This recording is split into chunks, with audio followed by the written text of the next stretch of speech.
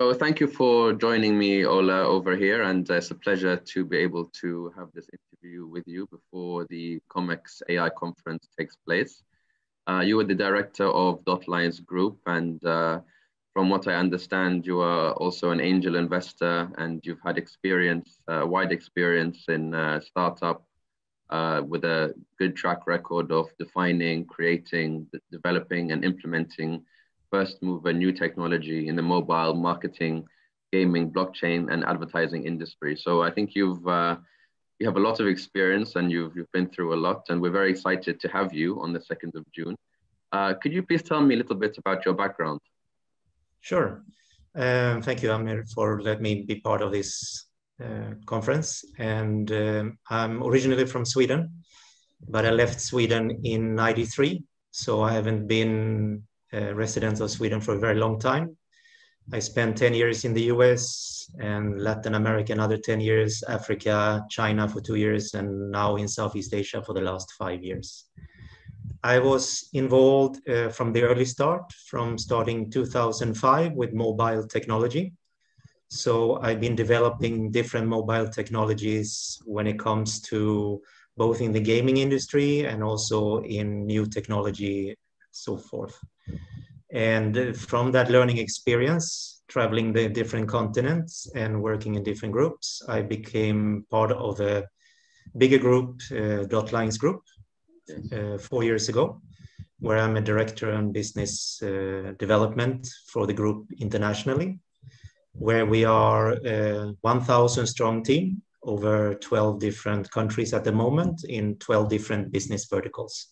And one of them we invested heavily in the last couple of years is uh, internet security.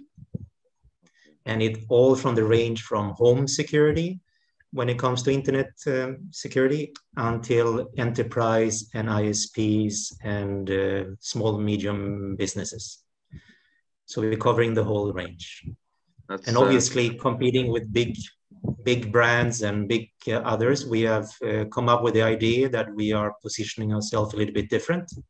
We actually made firewalls and other products user friendly. And that's where our edge is in this marketplace today. That's very interesting. Thank you for going through that uh, that overview of your background. I'll go into more detail shortly about uh, your uh, about the services that your company and yourself provide.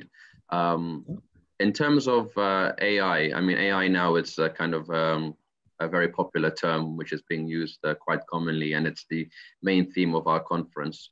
Uh, in, in, in specific in relation to cybersecurity, uh, AI can help to identify, prior, prioritize risk, uh, can identify, spot any malware on a network, uh, can guide incident response and intrusions before they even start. Can you tell me uh, what are the main benefits of AI in cybersecurity? I believe uh, the time, because that's one of the most important, I believe, today. Because when there is a DDoS attack or any kind of threat onto a network or somebody's uh, network, the time element is the most important to be able to detain and to uh, assess and make sure that the threat is taken care of.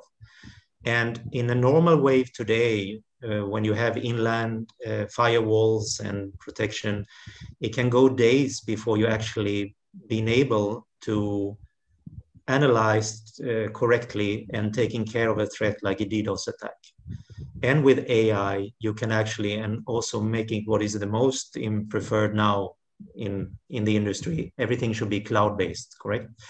And by having instead of focusing on the whole data process of uh, the data that you have in your network, you're actually taking data pockets out of that network and analyze and predict and automate that process to make sure that you can actually prevent and immediately take action regarding threats. And I think that is going to grow uh, very big in the coming years because I think it's one of the most important. And um, I mean, uh, who who would you recommend? Of course, uh, cybersecurity affects everyone, but who would you say are the main industries uh, kind of the size of the companies that should be investing in uh, cybersecurity and AI systems and cybersecurity. Uh, can you I go into more detail? Yeah, obviously the first one will be, I think, governments looking into it. You saw now in Singapore, for example, the government in investing in a new AI cybersecurity for the whole network of data in, in Singapore. And I think the biggest players that obviously are the network providers and the ISPs and big enterprise house uh, cloud hostings uh, companies because for them uh, they live of being connected and making sure that the network is up and running. And without disruption obviously they have better care of their customers and everybody is more um, in tune and happy with their networks so i think they are obviously the first ones but looking in what happens today after one year in lockdown uh, globally is not only the big corporations is also the small SMBs that are attacked, hospitals. There is also homes because phishing attacks on your bank data has uh, grown. Uh, I mean, it's in crazy the amount of growth in hackers it, because it's very, very easy prey. And uh, I think we will see a lot of changes in technology and the way of behavior, how to address this uh, these threats. Correct. No, thank you for mentioning that. And uh, actually, my next question was going to be in relation to how the pandemic has changed, because obviously cyber cybersecurity will only get more increasingly uh, important for uh, even the smaller players. Um, I, I, wanted to ask you, uh, how would how, how would our delegates uh, benefit from uh, attending your seminar? I think it's about learning exactly the latest what's going on in the process of AI and why it should be used in some areas yeah. and why it's so effective because it's about not have disruption in in your business in making sure that you are more cost effective in the sense of protecting your data mm. and making sure that your end uh, consumer of that data is protected and as well is uh, having a good customer service because we work in many regions here in, in Southeast Asia, in Indonesia, India, in mm. Bangladesh, Malaysia, etc. And the biggest problem with the ISPs are the thing when something happens, it takes them a very long time to solve the issue. And I think that is the one of the best cost efficient way for anyone in the industry to look into to learn more about it and uh, implement into their uh, existing um, operation of today.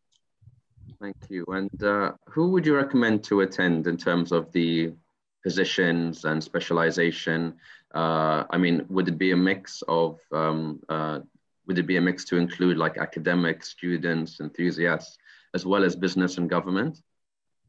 I think everybody should be involved uh, in the sense why because from learning from the staying one year at home yeah. and seeing other families where they have younger kids at home you're working from a home maybe you're uh, working as a lawyer or you're working an accountant and so on and all their data has actually been very unprotected uh, yeah. specifically in this region meaning that the kids are using the same Wi-Fi or internet, doing games, downloading a lot of ads and malwares and adwares, etc.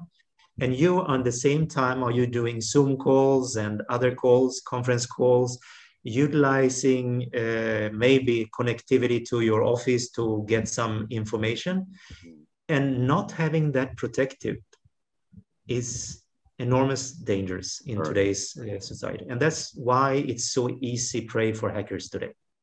Correct. I think it's it's uh, having the knowledge to understand that it's a major risk. And i think the awareness is there now.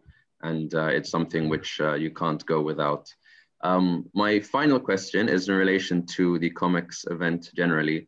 Uh, can you tell me uh, why are you excited to be part of COMEX? as you know it's a 30 year old event for oman and it's the first time it's happening virtually. So I want to know why you're looking forward to it.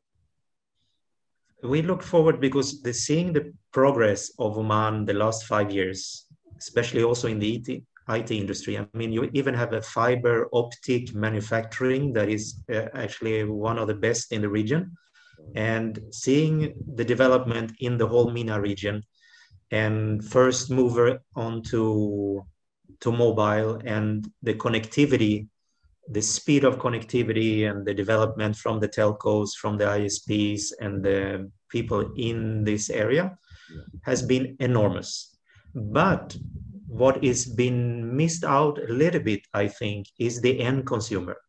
End consumer is actually getting access to all of this, but it needs, I believe, uh, a little bit caretaking, both from government and private sector, of working together to making sure not only in educating, but as well learning and implementing the best strategies when it comes to data protection, IT threats, and so on, because it evolves all of us.